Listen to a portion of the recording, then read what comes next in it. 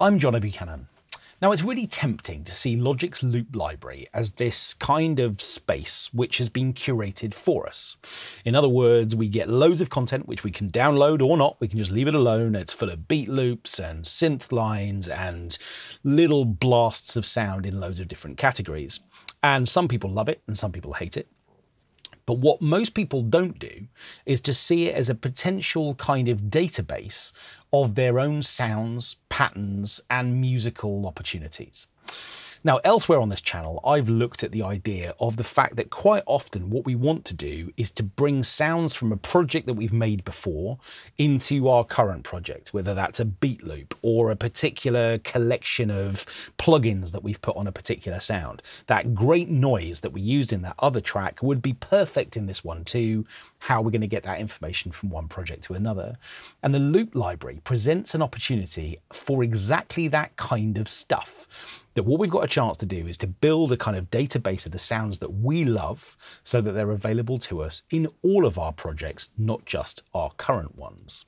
Now, in preparation for the idea that we're going to add some content of our own to the loop library, I've made two loops, both of which are pattern regions, one of which is a synth one for this airy pick sound in uh, retro synth, which we've heard before on this channel, and the other one of which is a drum loop. And together they sound like this.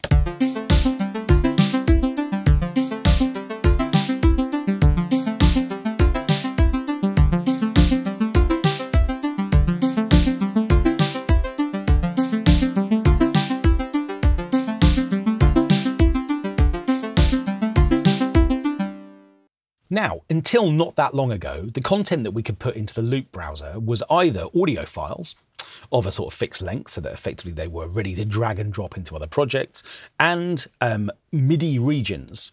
The difference between blue uh, sort of files, which were audio based, and green files, which were MIDI based, which effectively we could add to the Loop browser and then drag and drop into our other projects. But now we can also, and this has been true for a little while, we can add pattern regions into the Loop browser as well. And this becomes pretty useful. So what I'm going to do is to select my Airy Picks pattern and I'm going to control click it.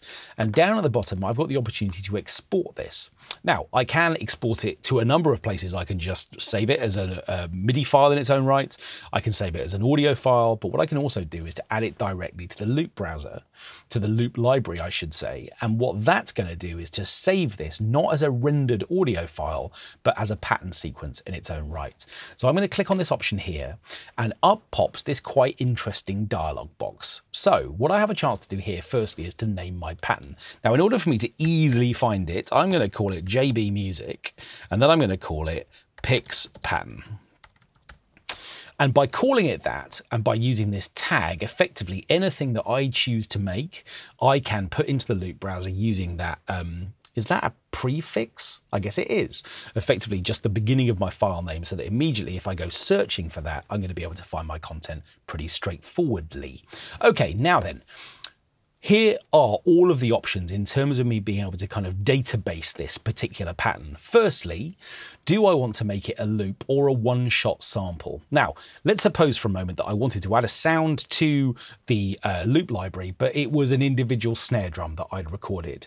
And I wanted that to sound exactly the same because I was just going to drag and drop that file wherever I wanted to use that snare drum onto an audio track. One shot would be my friend. I don't want it to time stretch or to conform to tempo at all. It's a one-off effect. And that's really useful if you're recording sound effects as well, and you just want them to always play back the same way.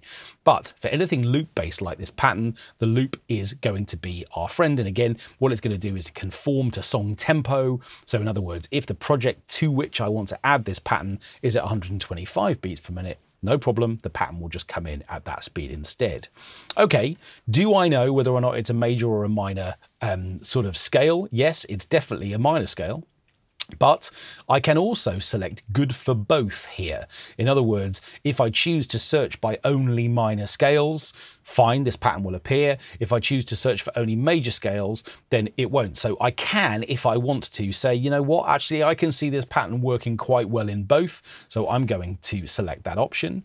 I've also got an opportunity to choose the genre of this particular pattern if I want to. So if I want it to be searchable from within the tags that exist in the loop browser already, I've got a chance to say, yeah, you know what, I think this is an electro house pattern, but I don't think I do think that. I think I'm going to just make sure that this is just searchable via the way that I've named it rather than putting it in a particular genre category. So again, I'm going to leave that as none. But if you've made a loop that you know you're going to use for techno projects, then fine, select that genre if you want.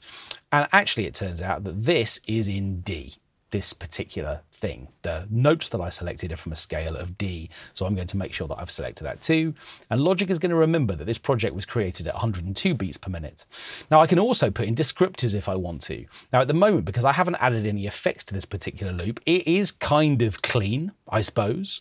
And again, remember by ticking this box, what that means is that if I search for clean sounds, this sound is going to be included within that list. So I can click anything I like. Did it feel cheerful to you?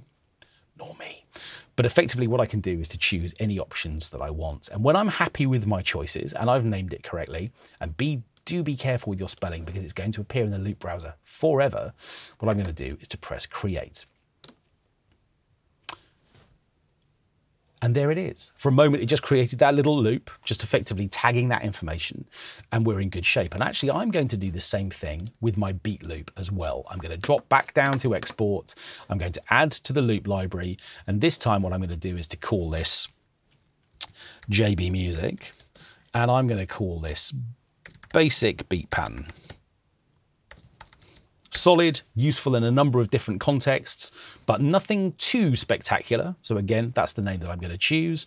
This doesn't really have a scale. So I'm going to say neither because it's beat based.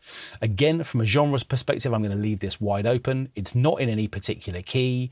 And actually there are a couple of effects on this. So I'm not going to click any of the tags either, just to keep things simple. And I'm going to press create. And again, what's going to happen is that these two files are going to be rendered for me within this window. Okay, so what I'm going to do is to mute both of those things.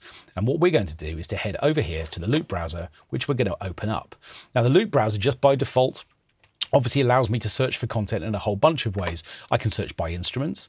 I can search by genres, and here we're going to see the categories that I avoided earlier on, or we can come in via descriptors. And again, what we've got a chance here is to see some of the things that I uh, sort of had an opportunity to add my sounds to. I think we did add clean to the um, original uh, Airy Picks pattern sequence. So what I'm going to do is to come out of all of that for a moment, deselect those options, and instead what I'm going to do is to search by JB Music and I'm going to discover my two patterns, which have been added here. And again, if I'm intending to build a big database, actually tagging this content in the ways that I have are going to be particularly useful. So what happens when I take my basic beat pattern and I bring it onto a brand new track within Logic and I just drag it and drop it? What is Logic actually going to do? Well, it's going to remember that it was created for the analog circuits beat pattern. This is one of the drum machine designer kits. But of course, I'm in a position to change that for anything else I like.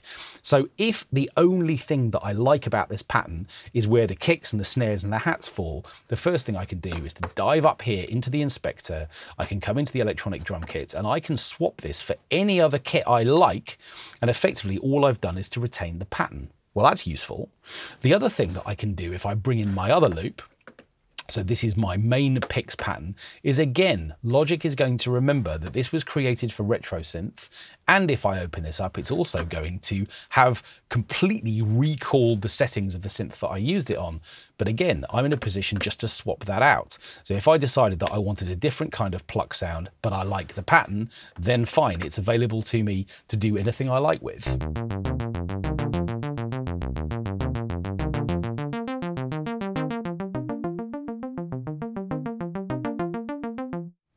And of course, I could run that with the original if I wanted to, because they happen to exist within the same project.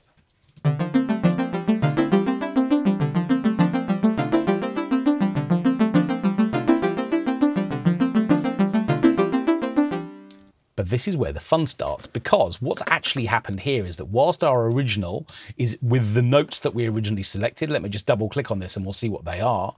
Effectively, what we've got is the notes of this as I set them up in the original pattern using a D uh, harmonic minor pattern.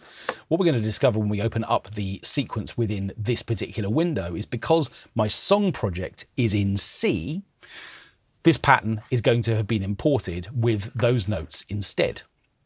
So effectively what's happened is that in exactly the same way that if this was an audio file, which I had dragged and dropped into my project, because it's in C, the pattern region has conformed to a scale of C instead. Now you might still be thinking, well, hang on, why? I told the pattern that it was in D. Well, remember that the global tracks option for this particular project can be different from the notes that I choose to make a pattern from within the pattern sequencer. In other words, the global key of this particular project is in C. So when I drag and drop this pattern, by default, it's going to be in C. How would I fix that? Well, all I've got to do is to come back into here, open up these notes, and within this scale, what I can do is to transpose them up into D, and now they're going to run alongside the other ones much more nicely.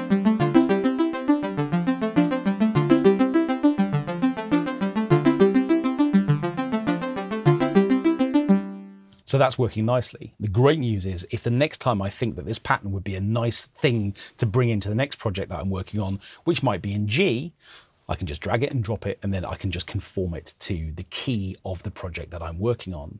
So effectively, we have a chance to use the loop browser in a totally different way to the way that we normally think about using it, which is Apple have created all of this content. We either love it or we don't love it, and we want to just make our own sounds. But if you, what you want to do is to create a database of audio files, MIDI regions, and pattern sequences, which effectively are available to you within all of your projects, it's an amazing resource. Remember, tag things correctly, definitely get your spellings right so that you're not irritated by the fact that you've put four N's in the word pattern. Why would you do that? Nevertheless, tag things correctly, add the data that you want so that it's highly searchable and effectively over time every time you make something that feels like a useful little module that you might want to plug into another piece of music that you might make one day effectively it's all there waiting for you